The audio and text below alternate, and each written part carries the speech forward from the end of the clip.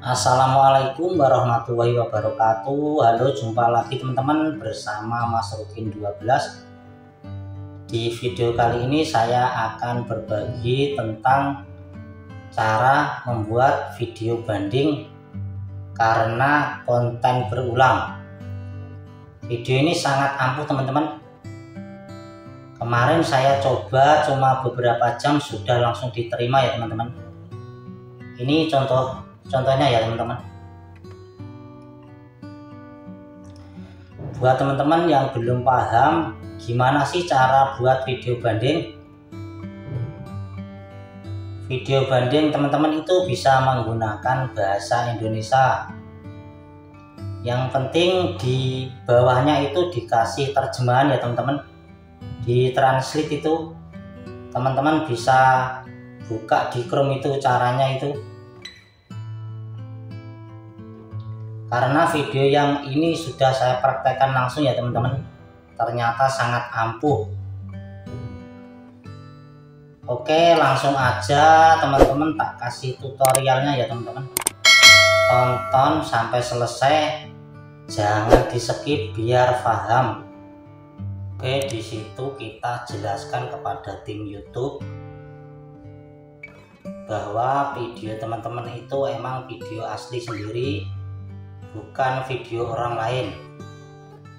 Dan teman-teman juga perlihatkan alat-alat yang digunakan untuk membuat video.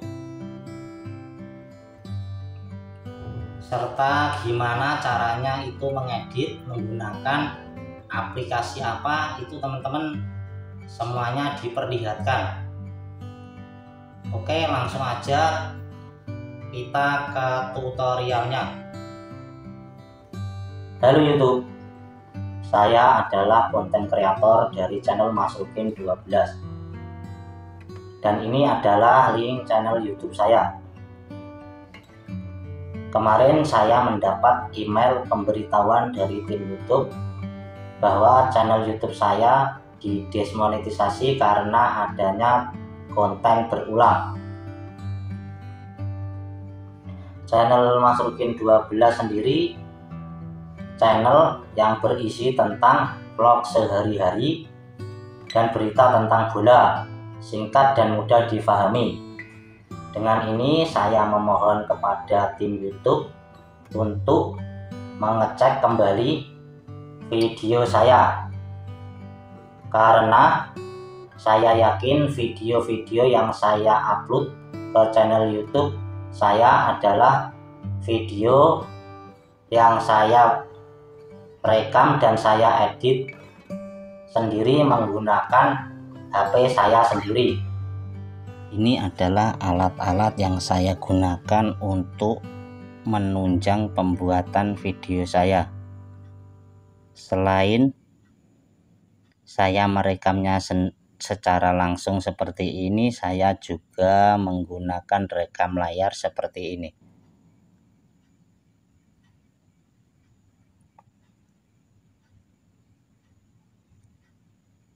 Dan untuk pengeditan video di sini saya menggunakan aplikasi Ucode Video Editor. Dan cara-caranya kurang lebihnya adalah seperti ini saya klik tanda plus. Setelah itu saya buat proyek baru yang sudah saya siapkan sebelumnya.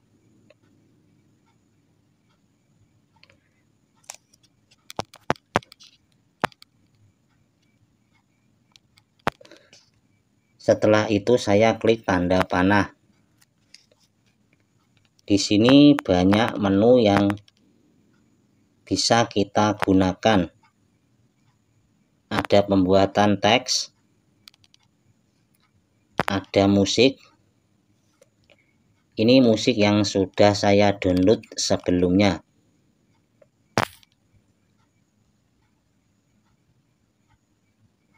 Kita bisa putar video ini. Halo YouTube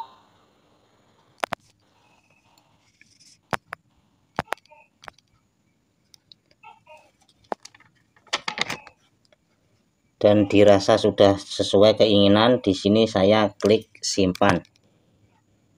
Saya pilih resolusi yang ke 720p kita simpan. Sedangkan untuk membuat thumbnail di sini saya menggunakan aplikasi KineMaster. Cara-caranya kurang lebih seperti ini. Saya klik tanda plus kemudian saya pilih aspek rasio. Di sini saya pilih latar belakang yang berwarna. Setelah itu saya klik tangkap dan simpan. Ini adalah contoh-contoh thumbnail yang sudah saya buat inilah cara saya untuk membuat video. Dan saya yakin video seperti ini sangat aman untuk dimonetisasi. Karena 100% saya mengambil video dengan kamera atau handphone saya miliki. Dan saya mohon kepada tim YouTube untuk menghargai saya sebagai konten kreator yang menggunakan alat seadanya dan saya berharap agar segera meninjau dan memonetisasi channel YouTube saya. Demikian adalah video banding saya. Saya ucapkan sekian dan terima kasih. Oke, terima kasih buat teman-teman yang sudah menonton video ini. Semoga video ini bermanfaat khususnya buat teman-teman yang mengajukan monetisasi ulang. Karena konten yang berulang itu itu sangat ampuh teman-teman. Cuma beberapa jam ya teman-teman langsung diterima khusus buat teman-teman yang mengajukan ulang monetisasi semoga bisa menjadi partner YouTube kembali dan dimonetisasi channelnya. Sekian dari saya. Terima kasih. Wassalamualaikum warahmatullahi wabarakatuh